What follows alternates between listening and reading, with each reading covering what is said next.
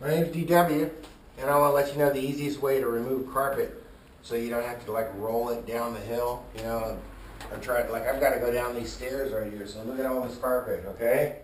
So the easiest thing right here, go to Home Depot, get yourself some of those heavy duty garbage bags, you know, the big ones, and a razor blade like this, and cut it up in squares like this. Start like this. Like you see the end like that? See I got it all cut out over there? See I cut it all up in squares. Look at this. One square, two square. Oh, put the dust mask on.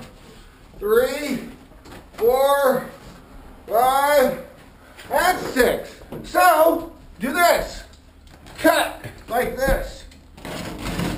All the way over. All the way over it up, okay? Like that, you probably cut this to make it fit. Then, you wonder how do you cut that? It's like, oh, pull it over here. Turn it on its back.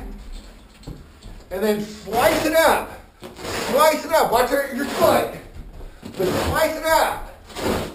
What you're going to get out of that,